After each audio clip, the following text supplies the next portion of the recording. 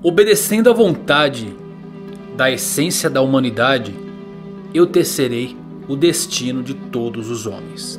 No capítulo perdido somos apresentados ao antagonista maior da humanidade. O Deus daquele mundo, a ideia do mal. O verdadeiro mestre da mão de Deus e o Senhor do abismo. Qual sua história e acima de tudo, qual o grande plano da ideia do mal para o mundo de Berserk? Você quer saber? Então se liga que eu vou falar nisso agora.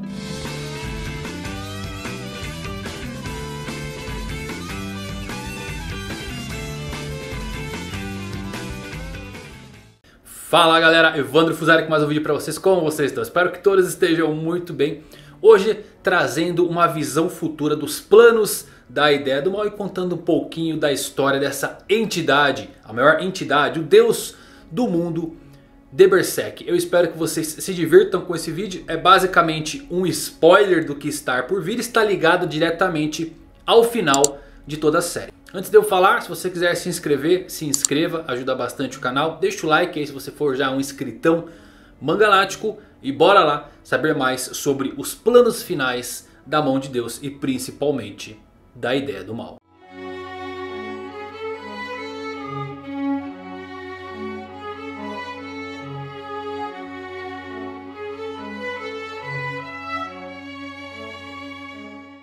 Então eu vou contar para vocês agora o grande plano da ideia do mal. Basicamente os indícios do que veremos ao fim da série. E vou colocar a minha visão desses acontecimentos.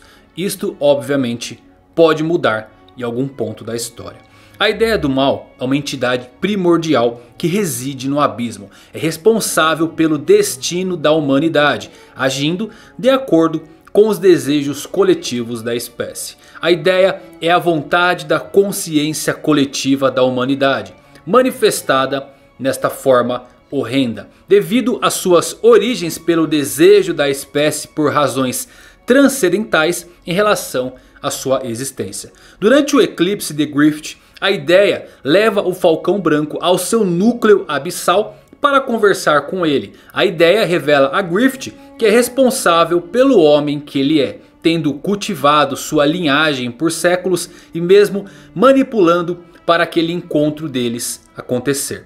Ele tranquiliza Griffith que se suas ações trazem sofrimento ou salvação, tanto faz. Elas serão adequadas para a humanidade, pois são os desejos dos humanos que os moldam. A ideia permite que Griffith utilize o poder das emoções no abismo para então mudar a sua forma. E assim nasceu o quinto anjo da mão de Deus, Fento.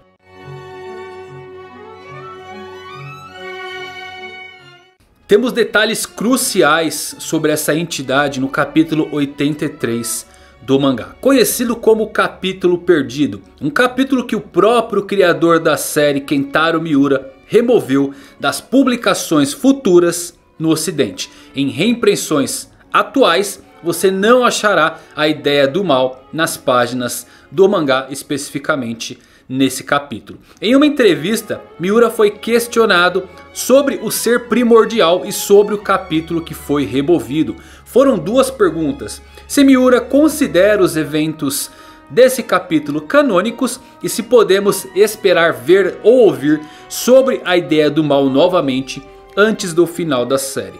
A resposta de Miura sobre a remoção do capítulo foi a seguinte. Ele queria que o mundo de Berserk fosse revelado até certo ponto. Não mais do que vimos no eclipse. A aparência de Deus do mangá determina conclusivamente seu alcance. E ele pensou que isto poderia limitar a liberdade do desenvolvimento da história no futuro.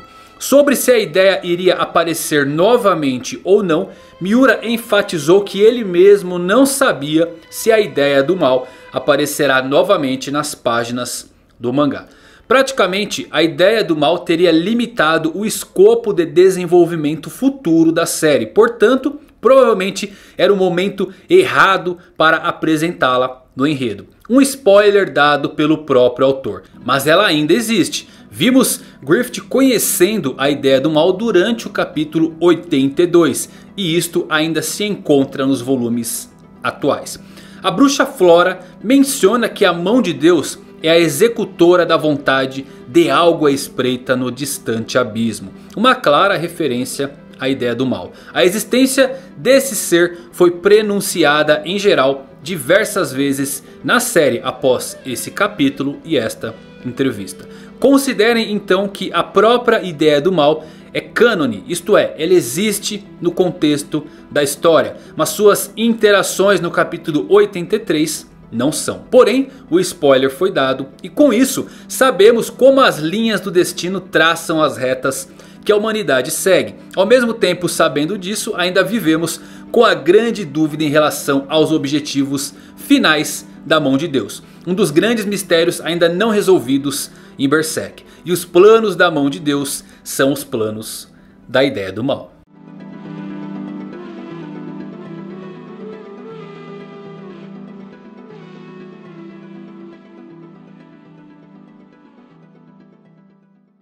Porém com os últimos capítulos, especificamente o capítulo 358, esses planos começam a tomar contorno.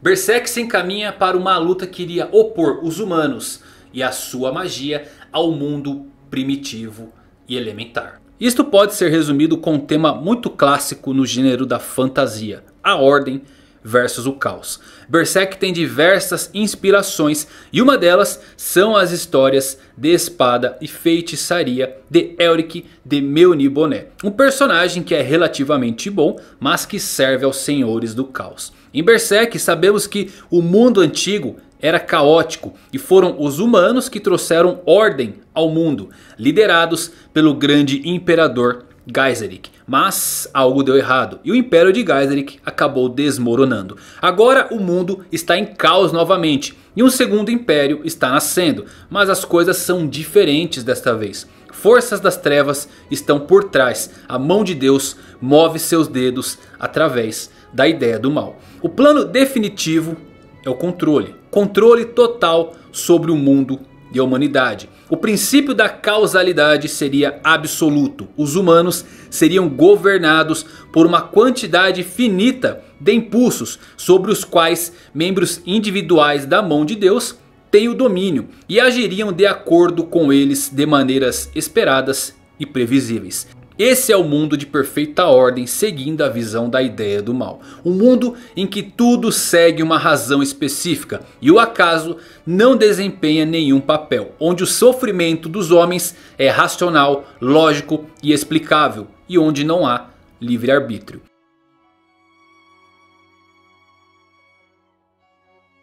Porém, isso se encontra em desacordo com o mundo astral. Vimos como Trolls são um grande problema para a mão de Deus durante os avanços de Griffith para limpar as áreas. E não somente Trolls, há uma miríade de criaturas astrais como elas, de todos os tipos e peculiaridades. Temos os elfos e os espíritos elementares, como os que Shirk convoca e os quatro reis elementais do mundo. Com isso, definitivamente temos também os usuários mágicos. A partir desse grande caos passado em algum momento, os humanos aprenderam a utilizar a magia elementar.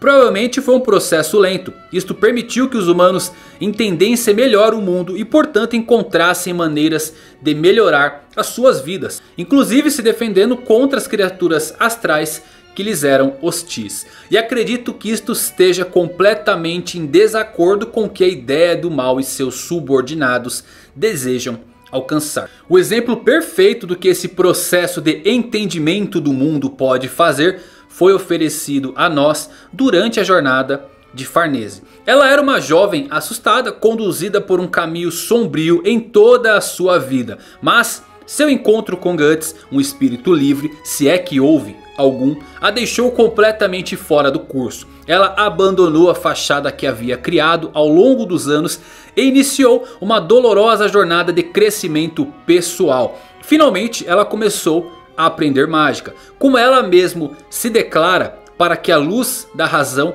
iluminasse a escuridão do desconhecido. Então agora temos razões que podemos invocar porque a ideia do mal e a mão de Deus não quer usuários de mágica por perto. Por um lado porque eles poderiam prejudicá-los ou contrariar os seus planos, mas se você pensar um pouco mais, descobrirá que eles também representam uma ameaça por causa do seu conhecimento. Eles sabem como o mundo funciona e isto é muito perigoso para a ideia do mal. Mas vai mais fundo ainda. Esse conhecimento e o poder adquirido com a busca pela magia dão aos seres humanos um escopo maior sobre as suas vidas e sobre o mundo. Isto significa que qualquer pessoa pode fazer a diferença. E isso é exatamente o oposto do que a ideia do mal quer. E agora temos os planos de conquista de Griffith e a sua busca por dominação mundial. Então acho que podemos concordar em como a ideia do mal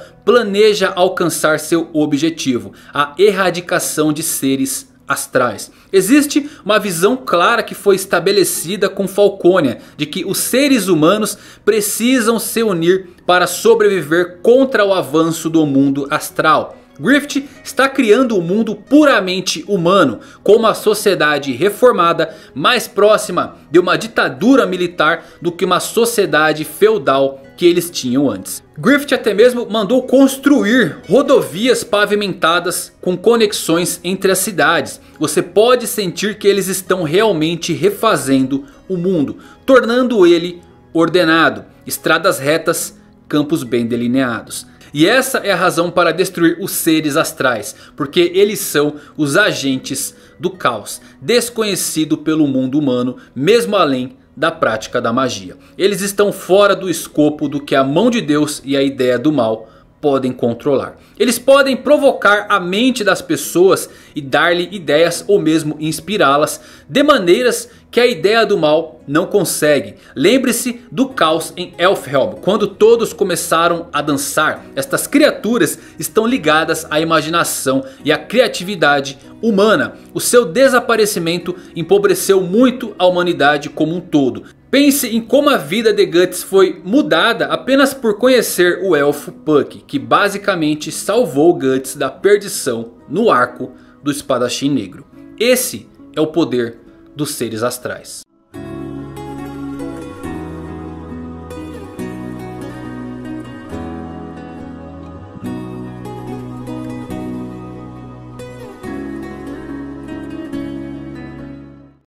Griffith pode ser considerado um imitador do Imperador Geiseric, porém criado pela própria ideia do mal. Mesmo a cidade de Falconia é uma réplica perfeita da cidade antiga. E mesmo a vontade de Griffith de fazer um segundo império sublinha ainda mais esse ponto.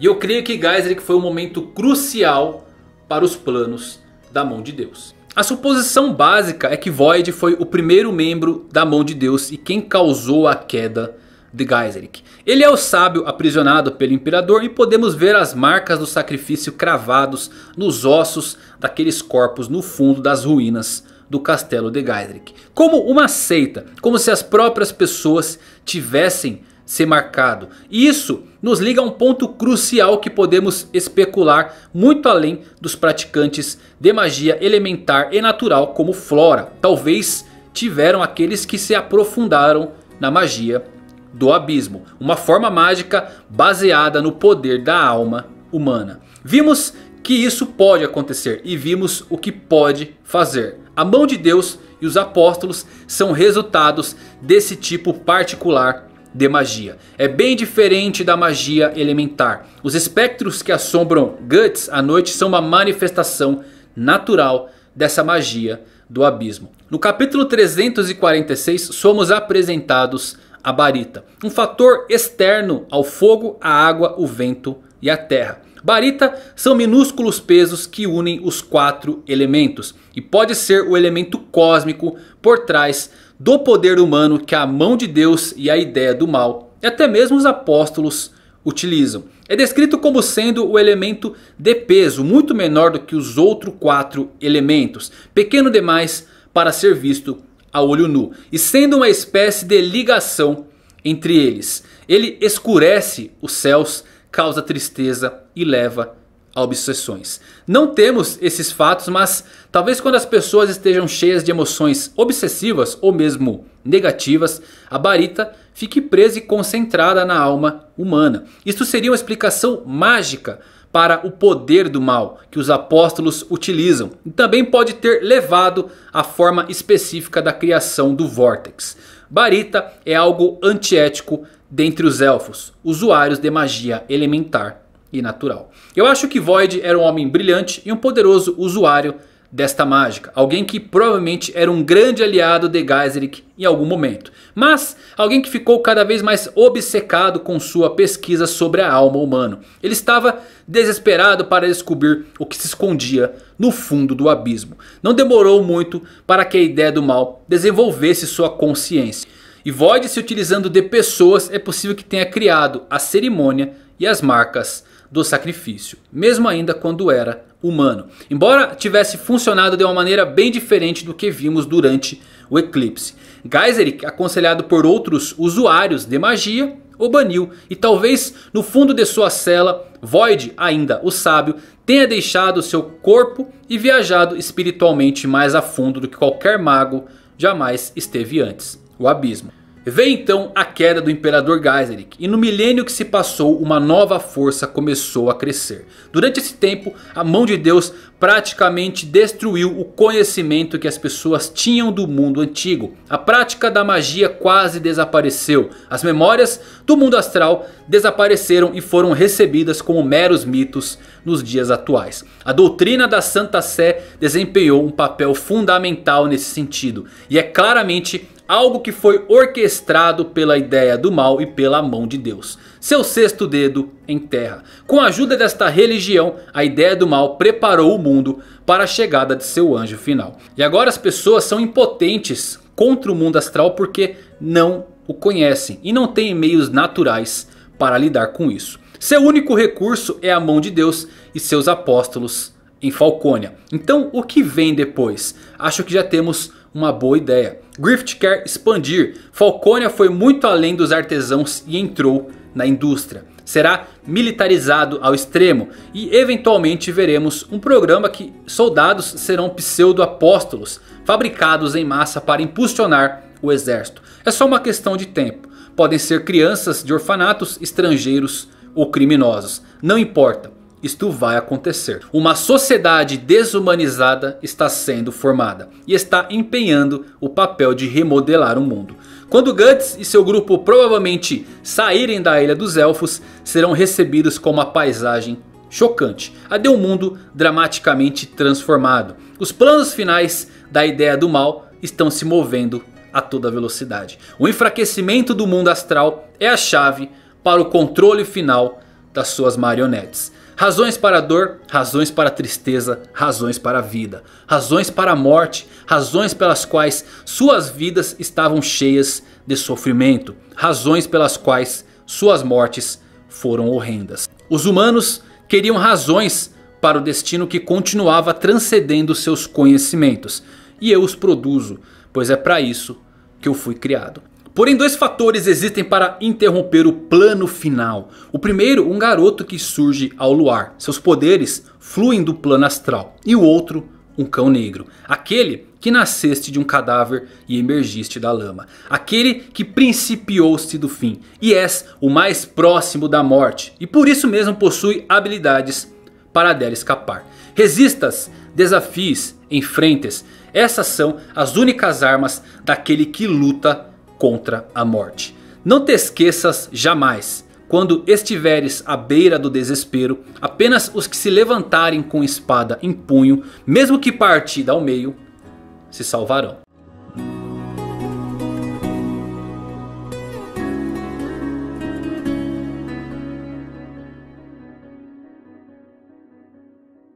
E esse é os planos finais da ideia do mal e da mão de Deus. O fim do livre-arbítrio. Será que eles conseguirão ou teremos um espadachim negro no caminho deles? O que vocês acham? Gostaram dessa história? Eu espero que sim. Se você gostou, deixa um like, ajuda bastante meu trabalho aqui. Compartilhe esse vídeo com seus amigos que gostem de Berserk ou que ainda não conhecem a história. E é isso galera, muito obrigado por terem assistido se você chegou até aqui.